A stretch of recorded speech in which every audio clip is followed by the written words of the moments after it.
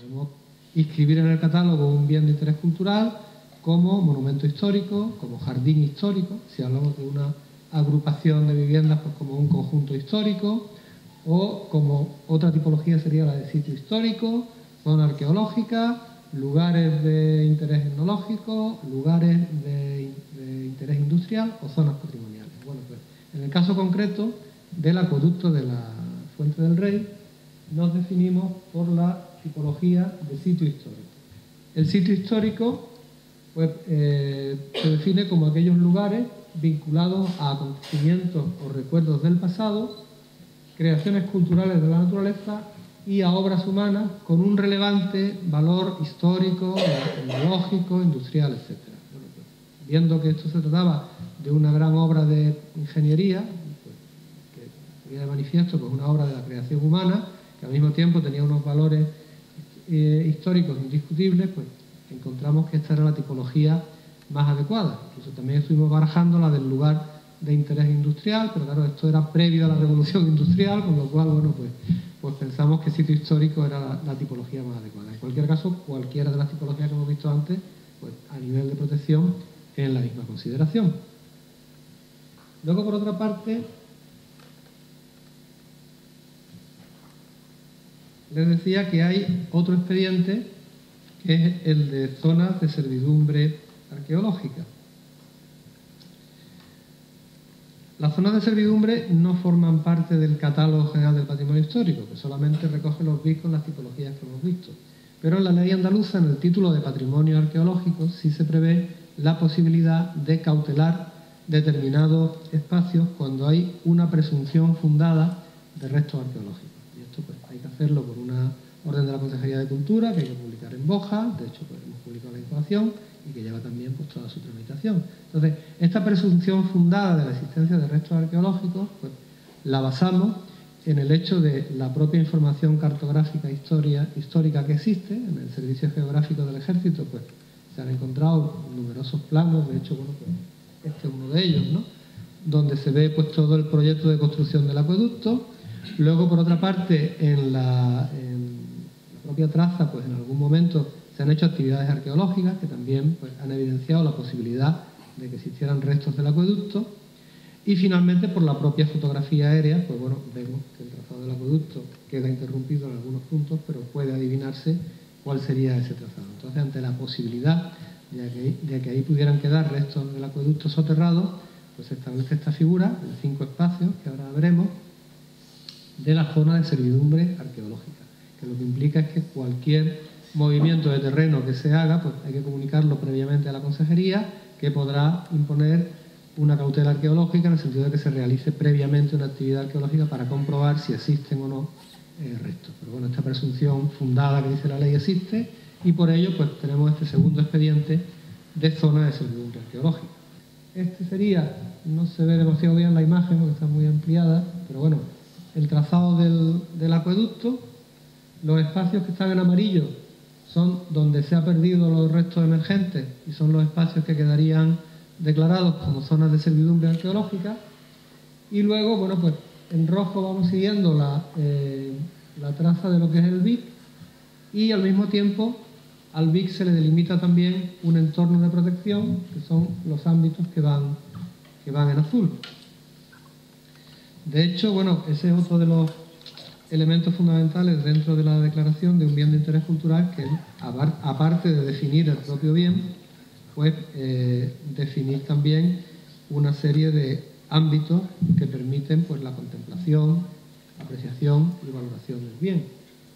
Este es un poco el concepto de entorno.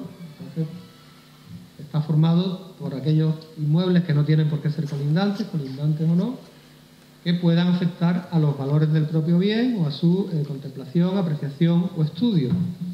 Al mismo tiempo, el delimitar estos espacios supone que también las actuaciones que se realizan en ellos también necesitan autorización de la Administración Cultural.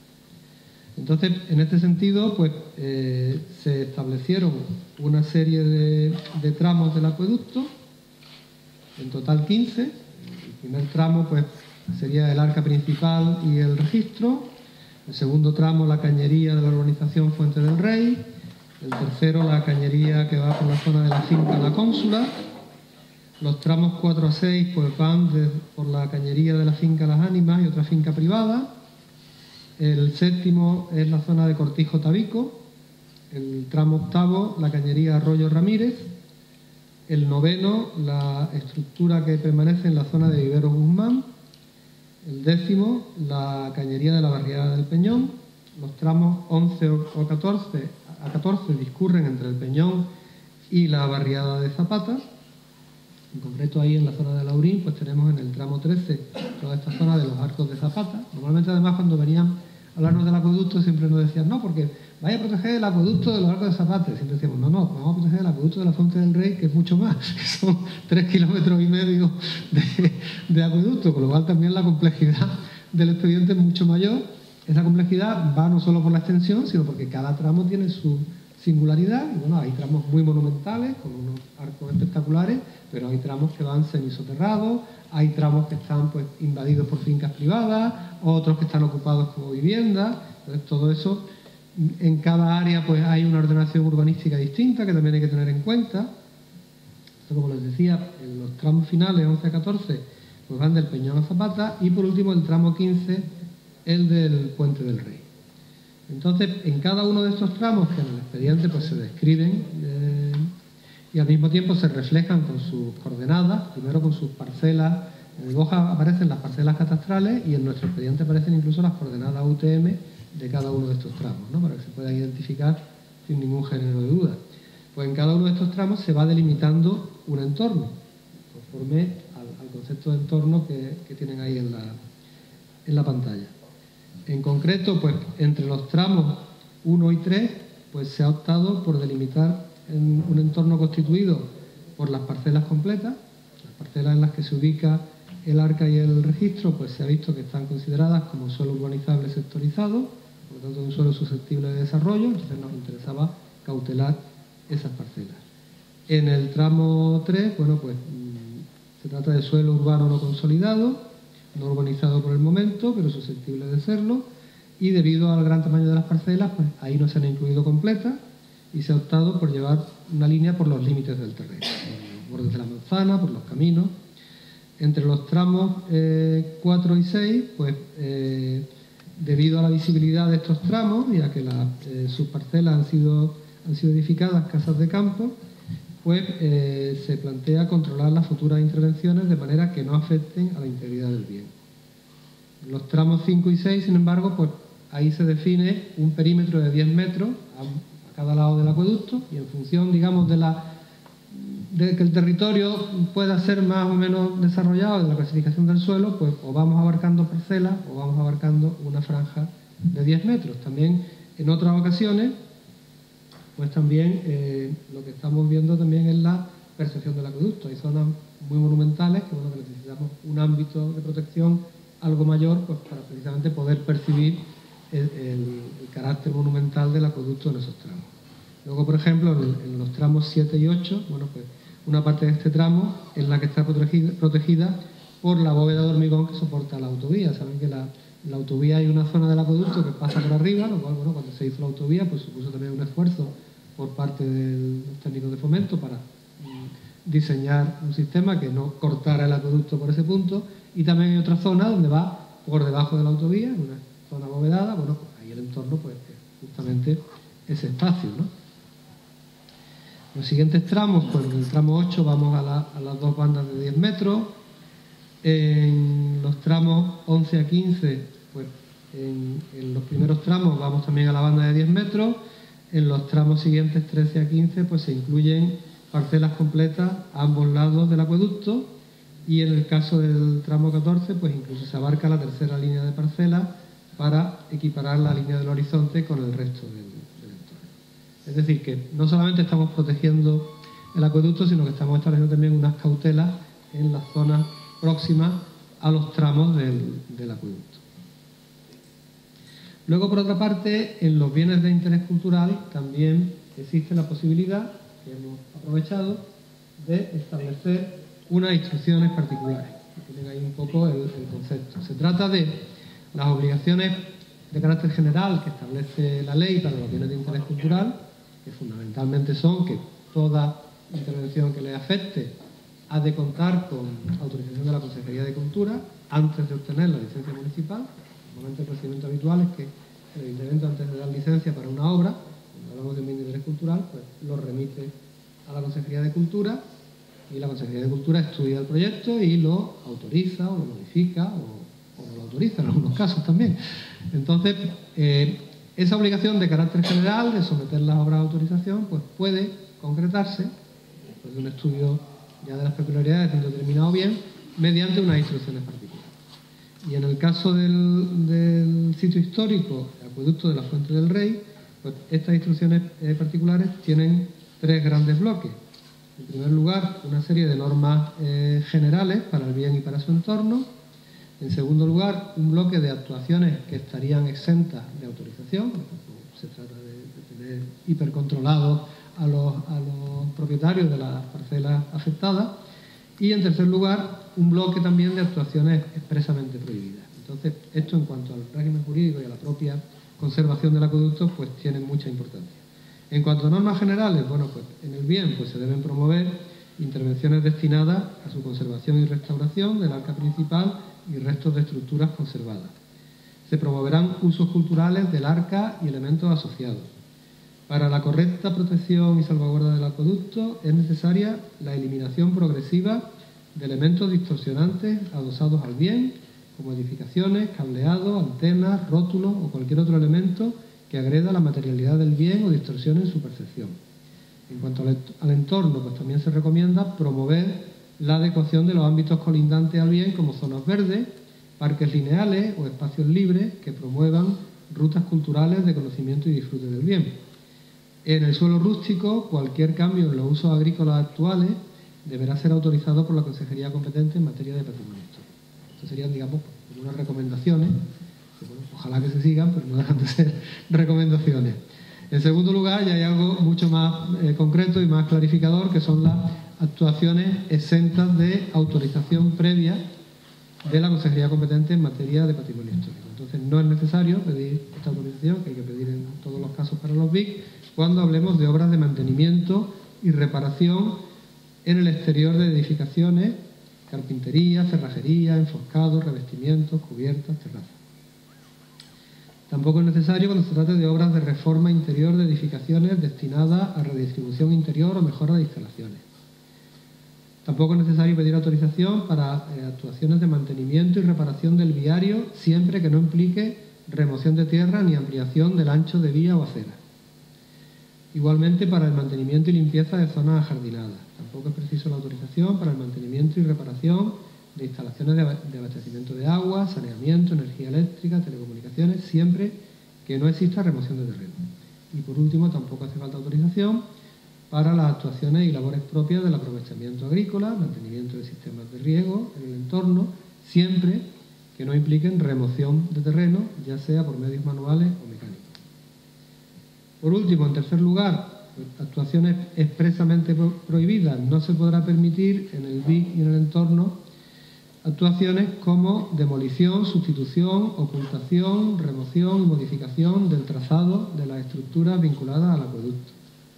Ampliación de las construcciones preexistentes que apoyan o se adosan al bien. hay que reconocer que existe una realidad, esa realidad en un futuro habrá que irla transformando. No se trata evidentemente de desahuciar a nadie porque tenga su casa debajo del acueducto, pero lo que tampoco puede permitirse es la ampliación de las construcciones preexistentes que se apoyan o adosan, o al bien. Tampoco se admite la instalación de redes de abastecimiento de agua, saneamiento, energía eléctrica, etcétera, que afecten al trazado del acueducto o que, o que se adosen a cualquiera de sus estructuras. Tampoco están permitidas aperturas de caminos o viales que afecten al trazado del bien, ni la instalación de, de estructuras para cultivo bajo plástico cristal o otro material de cubierta, que, bueno, que sería ya una repercusión muy importante en las zonas delimitadas como entorno. Entonces, el tipo de cultivos no serían admitidos. Ni la instalación de cercas o vallados adosados a los restos del bien, que en algún caso existen, lo que no se admite es que se sigan produciendo, ni el acopio, por supuesto, de material o escombros de cualquier naturaleza, tanto en el bien como eh, en su entorno. Es decir, que contamos bueno, pues, con toda esta serie de instrumentos, descripción y delimitación del propio bien, la eh, delimitación de su entorno, el establecimiento de unas pautas mediante instrucciones particulares y también de unas exenciones y unas prohibiciones, y todo estos son los mecanismos que conformarán pues, todo el abanico de protección del acueducto de la Fuente del Rey. En paralelo, en aquellos ámbitos donde no hay evidencia física del acueducto, pero bueno, podemos deducir que lo hubo, decía antes de la presunción fundada, pues también se establecen una serie de eh, cautelas arqueológicas. Todo esto sumado, pues sería la protección de la que vamos a dotar al acueducto. A día de hoy lo que hemos hecho es incoar el expediente, bueno, después de una serie de trabajos y de documentación técnica, incoar el expediente para su protección.